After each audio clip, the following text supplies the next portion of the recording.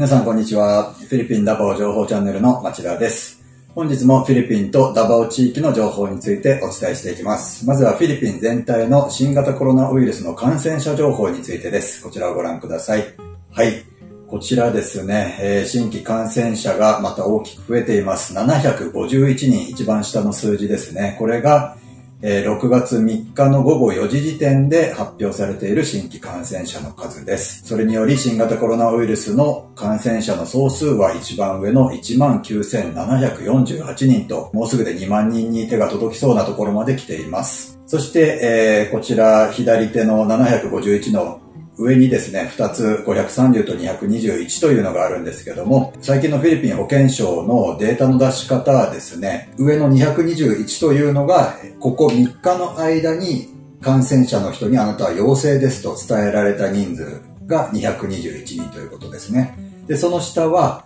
4日以上前に検査の結果陽性だった人にあなたは陽性ですと伝えた。その数の合計が530人となっていると。なので、この3日以内の上の数字と4日以上前に感染が確認されたという人の合計が本日まとめられて751となっているという、そういうデータとなっています。検査施設が増えてですね、検査の人数も増えているので、このようにちょっと時間差ができるような感じになってますね。なので保健省は、どちらかというと、あの、本日の新規感染者に近い数字は221の方であるということも説明しています。はい。そして回復者は新たに90人増えていまして、総数は4153人となってますね。そして死亡者は新たに8人増えまして、死亡者の総数は974人となっています。油断ができない状況が続いてますね。多くの地域で規制が緩和されて、まだそれでも規制が完全に解かれたわけではなくてですね、えー、規制が続きながら、まあちょっと緩和して仕事をできる人を増やしてですね、経済を回していこうと、そういう流れになっています。なので引き続きえ、フィリピンにいらっしゃる方はですね、どこにいても今移動が本当にこれからもどんどん増えていきますので、引き続きの注意が必要となっています。そして本日は、えー、私の動画では初めて紹介するデータですけども、アクティブケースブレイクダウン。これは感染した人の中で回復した人と死亡した人を除いた、まだ現在も陽性の状態が続いているというのをアクティブケースというんですけども、それの内訳が書いてあります。はい、全体で6月2日時点でのデータですけども、13,969人がアクティブケース、今も陽性が続いているという状態の人ですね。で、その内訳が右に書いてあるんですけども、一番上のアシンプトマティックっていうのは、症状がない人、無症状の人ですね。この人たちが795人で全体の5.7%。その次のマイルド、これは軽症の人です。症状が軽い人、これが一番多くて、もうほとんどですね、93.7%、1万3000と95人がもう軽症だということですね。これがちょっと意外に私は個人的に驚いたんですけども、あ、ほとんどもう9割以上の人は軽症なんだなと、この数字を見るとわかりますね。で、その次シビアというのは重症の人ですね。これはもう全体の0.4%、60人となっていまして、一番下はもう致命傷です。クリティカル致命傷は全体のわずか0.1%、19人となっています。なので、まあ、ほとんどが軽症なんですね。まあ、ここからね、あの、シビア、あの、重症になったり、致命傷になったり、移動はすることもあるでしょうけども、はい、これはちょっと意外な数字だったので、本日皆さんにご紹介しました。そして本日はこのまま続けまして、私が住んでいるダバオ地域の情報についてもお伝えします。こちらです。はい。えー、こちらは6月6日の午後5時の時点での最新情報ですね。新たに6人の感染者が確認されていまして、ダボー地域全体での感染者の総数は359人と、はい、こちらも増え続けています。で、新たな死亡者は出ておらず、引き続き総数は30人、そして回復者は1人出て、え回復者の総数は156人ですね。で、こちら久しぶりにこの図を出したんですけれども、以前と異なるのはですね、以前は本当にダバオが圧倒的にドンと、もうほぼダバオ地域全体の感染者数とダバオ市の感染者数がほぼ同じだったんですけども、えー、最近の変化はですね、ダバオ市の他にある、これ全部ダバオ地域なんですけども、他の州にも見え始めていると。ダバオデルノルテとかダバオオリエンタルとか、まあ下のダバオデルスールとかですね、はい、10人以上となっていますので、やはり最近、あの、マニラからもどんどんダボー地域へ戻ってこれなかった人が臨時便で戻ってきていまして、で、またダボーに着いてからそれぞれの地方へ帰っているという移動が、はい、あの、規制があった中から今、どんどん緩和されて移動の自由が効いてきているので、このように、このようにダバオ市以外でもですね、感染者が増えてきていますね。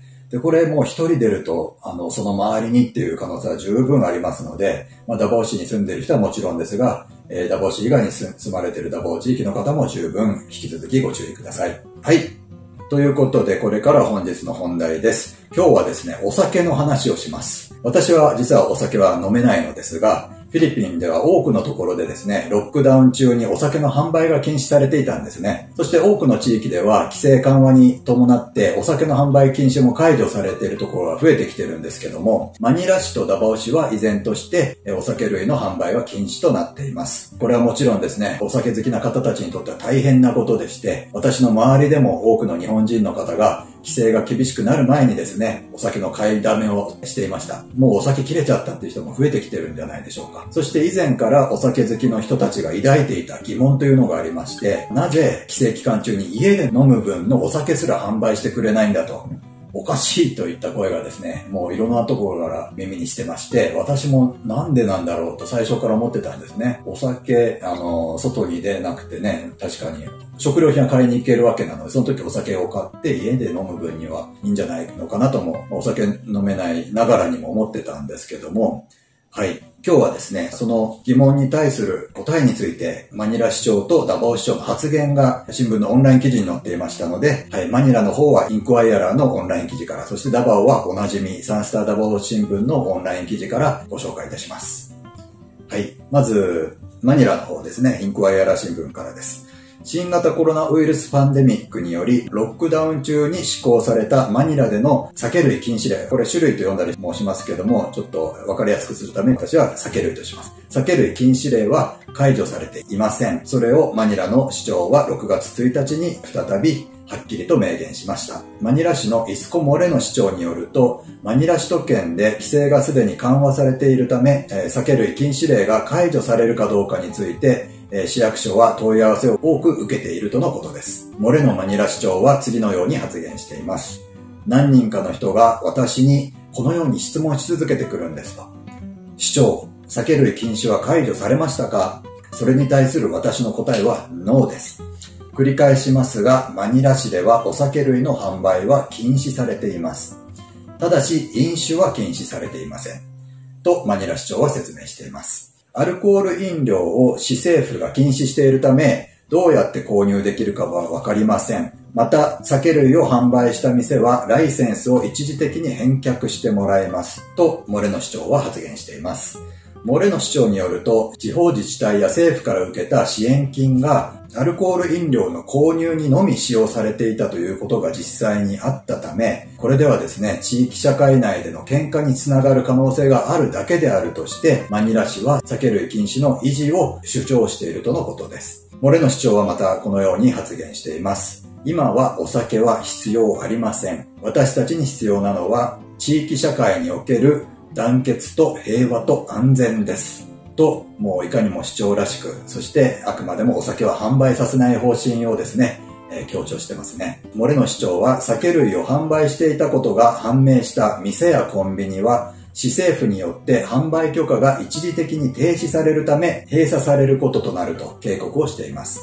そしてモレノ市長は、お酒を販売してお店を閉鎖するという危険を犯さないでくださいと販売店に対しては忠告しています。私たちは非常に厳格に取り締まりますとも発言しています。マニラ首都圏は6月1日から修正を加えたコミュニティ隔離から一般的なコミュニティ隔離へと移行したため、いくつかの都市は酒類禁止を解除しています。特にパシグ市とマリキナ市は酒類禁止を解除しましたが、バーやレストランなどの公共の場所での飲酒はまだ禁止しているとのことです。続いて、私が住んでいるダバオ市ですが、ダバオ市は6月1日から6月15日まで一般的なコミュニティ隔離を継続することがすでに決まっています。そして、ダバオ市のサラ市長も、この一般的なコミュニティ隔離の間も引き続き、酒類禁止令を解除していません。サラ市長は、お酒類の販売禁止について、次のように述べています。ごめんなさい。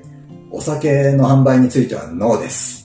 飲み会をしていたという感染者が別々の場所で3人出ているためです。と説明しています。そして面白いのはサラ市長は続けてこう言ってるんですね。肝臓によりいいと思えばいいじゃないですか。お酒を飲まなければ人生は2ヶ月延長されますよと。そのため80歳で死ぬ代わりにコロナウイルスのおかげで80歳と2ヶ月まで長生きできるんですよ。コロナウイルスがあなたの肝臓を救ってくれてるんですよ。と冗談めかして発言してたんですね。ラジオインタビューで答えてたんですけども、この辺がドテルテ大統領の娘のサラ市長という感じがしますよね。サラ市長は2020年4月6日の強化されたコミュニティ隔離期間中にコロナウイルスのパンデミックの中での飲み会やパーティーのために集まらないようにする予防策の一つとしてお酒類の販売を禁止しました。ダバオ市の医師も酒類は免疫システムに良くないという宣言を出しているとのことです。自宅に予備のお酒があれば家の中でお酒を飲むことは禁止されていませんが、サラ市長はアルコール飲料の売買は禁止していると、えー、繰り返し強調しています。フィリピンにはみんなで一つのコップを使って飲み仲間と回し飲みをするという互いと呼ばれている飲酒文化があるのですが、ダバオ市長はそれについても言及し、回し飲みはコロナウイルスが感染する可能性があり、濃厚接触者の追跡調査の余分な負担になってしまうとも説明しています。というわけで、以上がマニラ市長とダバオ市長によるお酒の販売禁止の理由でした。おそらくお酒好きの日本人の方の納得いかない人が多くてイライラされていると思いますが、えー、まあ、合に行っては合に従いですので、なんとか規制が解除されるまで頑張って我慢してください。あ、ダバオ市に住んでいる私の知人でですね、毎日お酒を欠かしていなかったという方がいるんですけども、まだご自宅にお酒の予備がある中で禁酒を決意されまして、もう3週間以上も一滴も飲んでいないということです。はい。今1ヶ月を目標に頑張られています。その方は私にメッセージくださったんですけども、人間ってアルコールがなくても結構生きていけるもんなんですね。ということをおっしゃってます。はい。M さん、引き続き頑張ってください。はい。というわけで、今日は私がちょっと気になってた疑問について、ちょうど新聞に載っていたので、それについてお話をしました。私の動画ではこのようにフィリピンの様々な情報についてお伝えしています。この動画がいいなと思われた方はぜひ高評価ボタンをお願いいたします。チャンネル登録がまだの方はぜひチャンネル登録をよろしくお願いいたします。それではまた次回の動画でお会いしましょう。さようなら。